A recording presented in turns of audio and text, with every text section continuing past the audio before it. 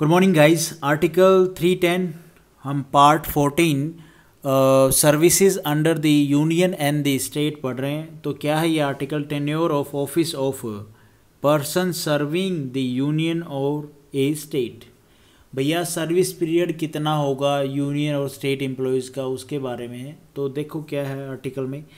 Accept as एक्सप्रेशली provided ये मेरे को बोलने में ना थोड़ी सी होती है दिक्कत। Provided by this constitution every person who is a member of a defense service or of a civil service of the union or of an all india service or hold any post connected with defense or any civil post under the union holds office during the pleasure of the president and every person who is a member of a civil service of a state or hold any civil post under a state holds office during the pleasure of the governor of the state देखो भाई simple सी बात समझे तो इसमें ये है। एक तो भाई अनलेस जब तक कॉन्स्टिट्यूशन स्पेशली ना बोले कि भाई इनकी पोस्ट के लिए इतना टाइम पीरियड है, वो कंडीशन ना बोले, तब तक। ये बाकी जो सारे सिविल सर्वेंट्स हैं, उनका कैसे होता है? भाई, सारे सिविल सर्वेंट्स में जैसे कि all India service I S I P S I F S ठीक है?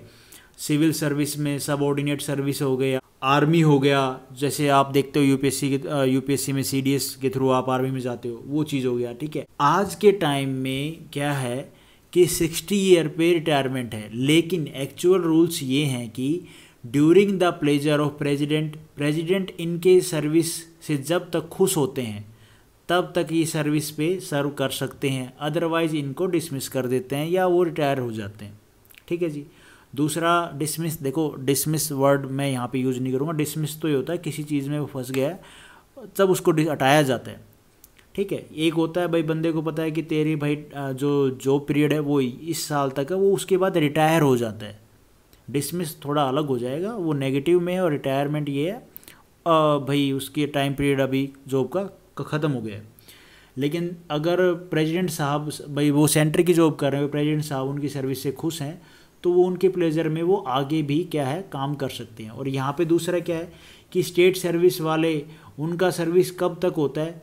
जब तक गवर्नर का प्लेजर होता है।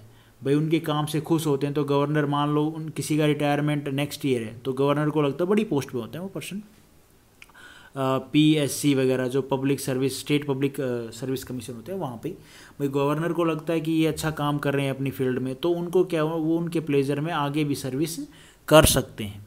ये बात बोल रहा है हमारा ये क्लोज उसके बाद है second notwithstanding that a person holding a civil post under the union और a state holds office during the pleasure of the president और as the case may be of the governor of the state any contract under which a person not being a member of a defense service or of an all India service or of a civil service of uh, the union or a state is appointed under this constitution to hold such a post may if the president or the governor as the case may be deem it necessary in order to secure the services of a person having special qualification provide for the payment to him of uh, compensation if before the before the expiration of an uh, agreed period that post is abolished or he is for reason not connected with any misconduct on his part required to vacate that post इसमें क्या बोल रहे हैं कि भाई एक तो जो प्रॉपर सर्वेंट्स होते हैं सेंटर के स्टेट के जो प्रॉपर एक रिक्रूटमेंट प्रोसेस होता है इंटरव्यू वगैरह होता है उससे आते हैं लेकिन दूसरा यहाँ पे क्या है, अगर गवर्नमेंट को कोई ऐसे पर्सन चाहिए अलग फ़ील्ड से, भाई मान लो टेली कम्युनिकेशन में हो गया, ठीक है, जो वो पर्सन वो जो काम कर रहे हैं वहाँ पे सर्विसेज़ में, वो उस प्रोसेस से नहीं आए, कौन से प्रोसेस से एग्ज़ाम दे के या फिर कोई साइंटिस्ट हो गया, वो काम कर रहे हैं गवर्नमेंट में, ठीक है, वो प्रॉपर प्रोसेस से नहीं आए हैं, मान लो इंटरव्यू वगैरह करके या फिर जो यूपीएससी का एग्ज़ाम उसको क्रैक करके, वैसे नहीं आए हैं। तो जो ये ऐसे पर्सन होते हैं ना जो प्रॉपर एग्ज़ाम दे के इंटरव्यू दे के नहीं आए हैं तो इनको क्या है गवर्नमेंट अलग से स्पेशली निकाल के अपॉइंट कर सकती है। गवर्नमेंट का क्या होता है कि कॉन्ट्रैक्ट होता है कि दो साल के लिए ये पर्सन काम करेगा इस फ़ील्ड में इस पोस्ट के ऊपर। पाँच साल तक काम करेगा इस पोस्ट पे। इतने भाई ये बड़ी पोस्ट होती है ना उनके लिए। लेकिन क्या होता है उस पोस्ट पे आने के लिए लोगों को एग्ज़ाम निकालना होता है। ठीक है इंटरव्यू देना होता है यूपीएससी निकाल के पहुँचना होता है लेकिन गवर्नमेंट को मान लो ज़रूरत है और भाई कोई साइंटिस्ट हो गया कोई टेली कम्युनिकेशन इंजीनियर हो गया वहाँ पे उसकी ज़रूरत है उस पोस्ट के ऊपर। तो गवर्नमेंट उसको अपॉइंट कर सकती है ये बात बोल रहा हमारा ये सेकंड लेकिन वो उस प्रोसेस से नहीं आया है उस पोस्ट के ऊपर जिस प्रोसेस से उसको आना चाहिए था। उस पर क्या किया? गवर्नमेंट ने उसको अपॉइंट कर दिया उसकी जो स्पेशल क्वालिफिकेशन है उसको देख के उसका एक्सपीरियंस देख के। ये चीज़ है। दूसरा ये है कि अब मान लो दो साल के लिए पाँच साल के लिए सरकार ने किसी को अपॉइंट किया। अब वो काम जो सरकार के लिए सरकार ने जिस काम के लिए अपॉइंट किया था, वो काम तो हो गया कंप्लीट अब कॉन्ट्रैक्ट का टाइम था पाँच साल, अब टाइम उस टाइम से पहले ही सारा जो काम था सर्विस का, वो कंप्लीट हो गया। तब क्या करेंगे? भाई, अब उसकी ज़रूरत तो है नहीं उस पर्सन के उस भाई, जो जिस के लिए उसको लेके आए थे, जिस पर्पज़ के लिए, अब उसकी ज़रूरत तो है नहीं। तब उसके साथ क्या करेंगे? करेंगे ये कि उसको कंपनसेशन देना बहुत ज़रूरी है। भाई, उसका टाइम पीरियड था बेचारे का पाँच साल, उसको हटा दिया दो साल में ही। अभी तीन साल के लिए उसने कॉन्ट्रैक्ट किया था तो उस कॉन्ट्रैक्ट के उसको कॉन्ट्रैक्ट के उसको पैसे मिलेंगे कंपनसेशन देंगे। अगर नहीं समझे तो मैं दोबारा समझाता हूँ सिंपल वे में कि मान लो मान लो जो एक प्रोसेस होता है, ये एक पोस्ट है। ठीक है।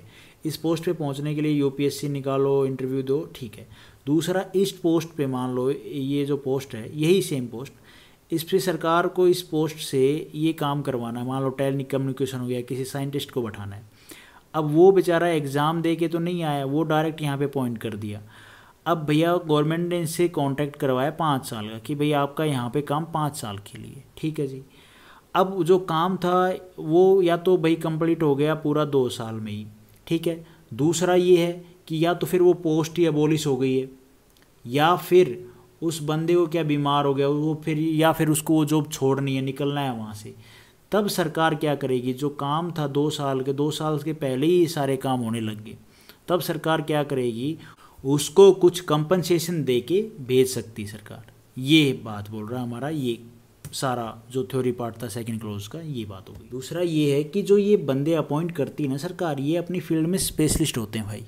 इसलिए सरकार इनको अपॉइंट करती है कि ये अपनी फ़ील्ड में एक्सपर्ट होते हैं तो इनसे भाई इतने साल का कुछ काम है, वो काम लिया जाए, फिर इनको भाई जॉब से हटा दिया जाए, या जॉब को ही वो अबोलिश कर देते हैं। ठीक है? बाकी तो इसमें पॉइंट बताया कि भाई उस पर्सन ने मान लो वो कॉन्ट्रैक्ट पास कर लिया और बीच में बीमार हो गया, निकलना चाहता है तो वो कंपनसेशन दे के भेज देती है गवर्नमेंट तो यही था article three ten thank you for watching this video video आपको ठीक लगी तो लाइक करना चैनल पे नहीं हो तो भाई सब्सक्राइब करना।